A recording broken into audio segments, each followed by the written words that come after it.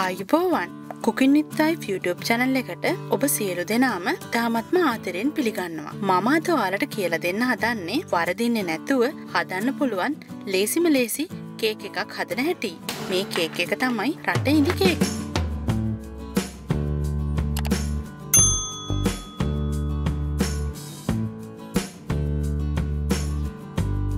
කොහොමද මේක හදාගන්න කියලා ඉක්මනින්ම බලමු.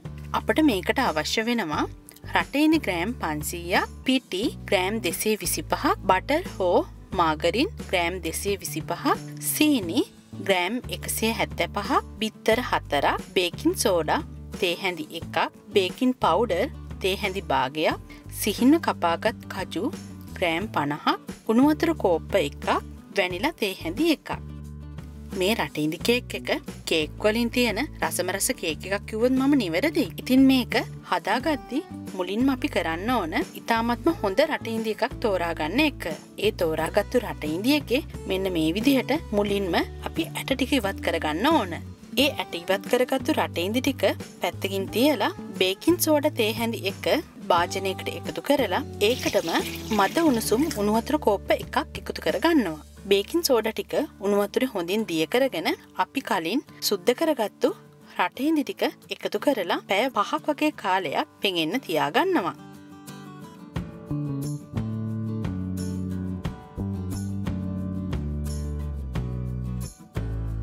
මේ තියෙන්නේ පැය පහක් වගේ පොඟවාගත්තු රටඉදි ටික ඔයාලට පේනවනේ පේස්ට එකක් වගේ හොඳට පිඟිලා තියෙන්නේ.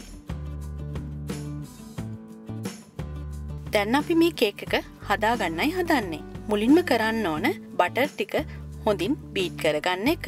පටර් හෝ මාගරින් පාවිච්චි කරද්දි ඔයාල මතක තියාගත යුතු එක දෙයක් තියෙනවා. මේ බටර් එක ගොඩක් සීතල වෙලා තියෙන්න්නත් බැහැ ඒ වගේම ගොඩක් දිය වෙලා තියෙන්න්නත් බැහැ මේ විදිහට අතින් එබවාම හොඳින් එබෙන තත්වෙට මේ බටර් එක තියෙන්න්න ඕන.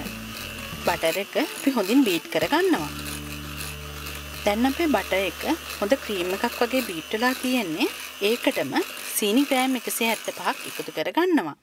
මේ කේක් එකේ ගොඩක් එන්න ඕන රට ඉදිරස නිසා ඔයාලට සීනි ප්‍රමාණය තවත් කැමතිනම් අඩු කරගන්න පුළුවන්. සීනි එකතු කරගත්තිත් බ්ලෙන්ඩ් එකට දාලා සීනි ටික හොඳින් කුඩු කරගෙන තමයි එකතු කරගන්නේ.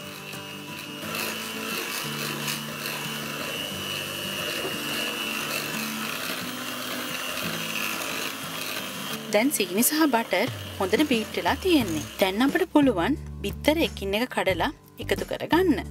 එක බිත්තරයක් එකතු කරලා විනාඩි දෙකතුනම් හොඳින් බීට් කරගන්න අමතක කරන්න එපා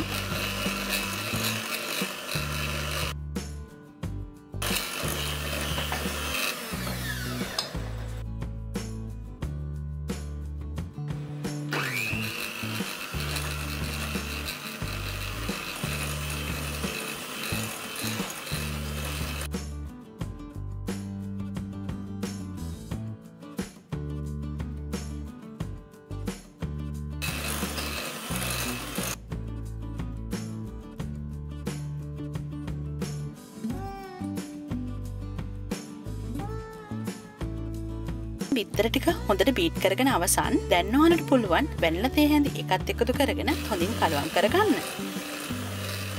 දැන් අපේ මිශ්‍රණය බීට් කරලා අවසාන් දැන් අපට තියෙන්නේ පිටි ටික එකතු කරගන්න මේ පිටියකටම බේකින් පවුඩ තේහැඳි භාගයක් එකතු කරගෙන හොඳින් හලාගෙන කේක එකට එකතු කරගන්නවා.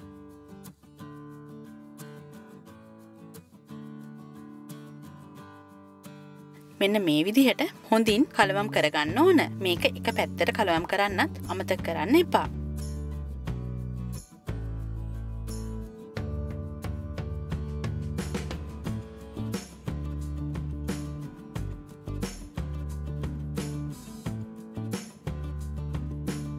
දැම් පිටිටික හොඳින් කළුවම් වෙලා තියෙන්නේ අපි කලින් සකස් කරගත්තු රට ඉදි ටිකෙන්ටික එකතු කරගෙන හොඳින් කළුවම් කරගන්න.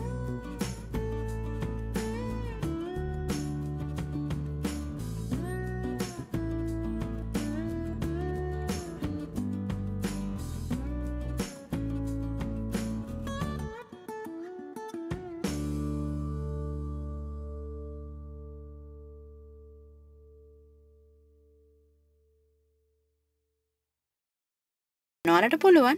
සිහින්න කපාගත්තු කජුග්‍රෑම් පණහත් එකතු කරගන්න.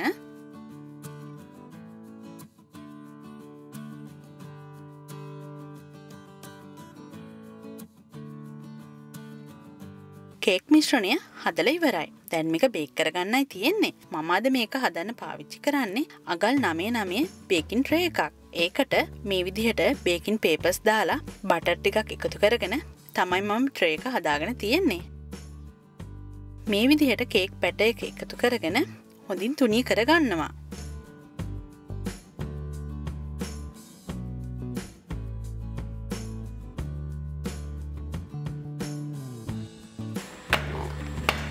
සෙල්සිය සංචක එකසිය හැත්ත පහක උෂ්ණත්වය යටතේ විනාඩි දහයක් මම මේ අවන්න එක රත් කරගන්නවා. කජුබඳ ටිකක් එකතු කරගෙන ඔයාල කැමති හැඩයකට මේක ලස්සන්ට සරසා ගන්න.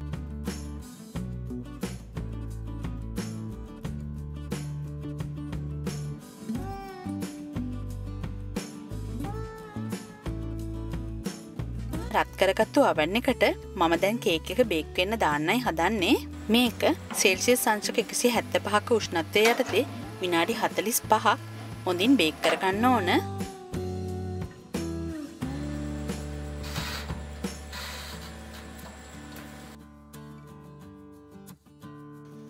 බේක්කුණු කේක එකක් ඔයාලට මේ පේන්නේ. පේනවනේ. මේක රන්නන් පාටට ලස්සනට තියෙනවා. කේක එක පාට වෙනස්සුනා කියලා කලබල වෙන්න එපා. රටඉදිවල කළු පාටට හුරු පාටක් තියෙන නිසයි බටර් කේක්වලට වඩා මේක ටිකක් වෙනස් පාටක් තියෙන්නේ. මේ විදිර ටූත්පික් එකක් කේකගේ මැදට ගහල බලන්න. ටූත්පික් එක ඉතාම පැහැදිලි වෙනවා නම් අපේ කේක එක බේක් වෙලා තියෙන්නේ. මේක හොඳින්ම නිමෙන්න තියල කපාගන්න තමතක් කරන්න එපා. මේ පේන්නේ රටඉදි කේක එක. ඔයාල හිතාගෙන හිටපු තරම් රටේදි කේක් හදන්න අමාරු නැහැ. මේ ප්‍රමාණවලින් මේ විදියට හැදුවොත් මේ කේක එක වරදින්නෙත් නැහැ. මේ කේක එකෙන්නේ අමුතුම රසක්. සීනි ප්‍රමාණයත් ඉතාම අඩු හින්දා රටේදිවල රහ තමයි මේ කේකේ ගොඩක් එන්නේ. ඔයාලත් අදම හදල බලන්න. හැමදාම් බටර් කේක් වගේ කේක් හදනවනේ රටේදි කේක් හැදුවොත් ඔයාලට හැමදාම් රටේදි කේක්ම හදන්න හිතේ.